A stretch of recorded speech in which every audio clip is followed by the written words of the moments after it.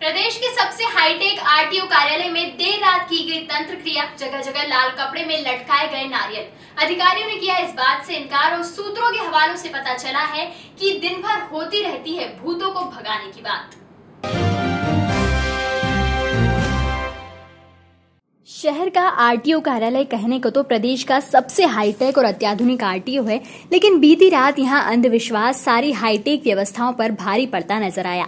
इसका पता गुरुवार सुबह ऑफ़िस खुलने पर चला। ऑफ़िस खुलने पर जब लोग यहाँ पहुँचे तो कार्यालय के चारों ओर कई हिस्सों में लाल कपड़े में बंधे नारियल दीवारों पर लटक रहे थे। दफ्तर के ही कुछ लोगों ने बताया कि बुधवार रात यहाँ तंत्र क्रिया की गई है, जिसके बाद यहाँ नारियल बांधे गए हैं। हालाँकि अधिकारी किसी भी पूजा की बात से इनकार कर रहे हैं। गुरुवार सुबह 10 बजे जब ऑफ़िस खुला तो यहाँ कई हिस्सों की दीवारों पर लाल कपड़े में नारियल लटक रहे थे। ये नारियल कार्यालय में आरटीओ के कैबिन के बाहर तक बंधे थे।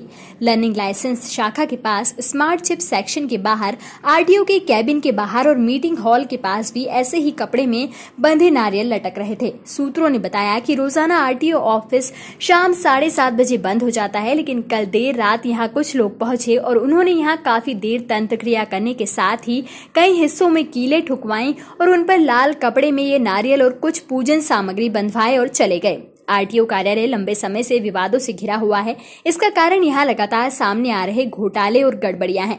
इनमें डीपीएस बस हादसे के बाद सामने आई गड़बड़ियाँ, फर्जी टैक्स रसीदों का घोटाला, भैयू महाराज की कार के फर्जी ट्रांसफ़र का मामला, फर्जी मार्कशीट का मामला जैसे कई मामले शामिल हैं।